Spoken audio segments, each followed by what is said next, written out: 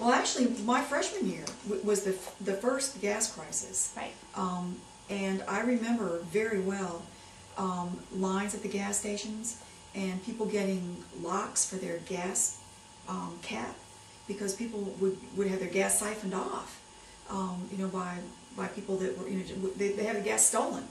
And I'll never forget this one time, oh my dear, I had, um, borrowed my roommate's car and she had a lock on her gas cap. And we were up in, in um, um, I had a date, and we were up in DC, and we decided we better stop and get gas before we came back.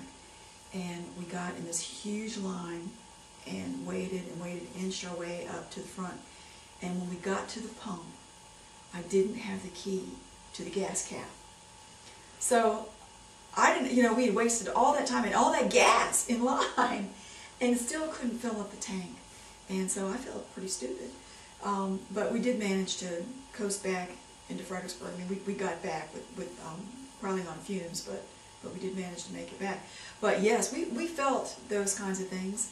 Um, the big Vietnam protests had pretty much um, were over by then. That, those were really um, in the late 60s and early 70s. Um, and by 73, th- things were pretty apathetic.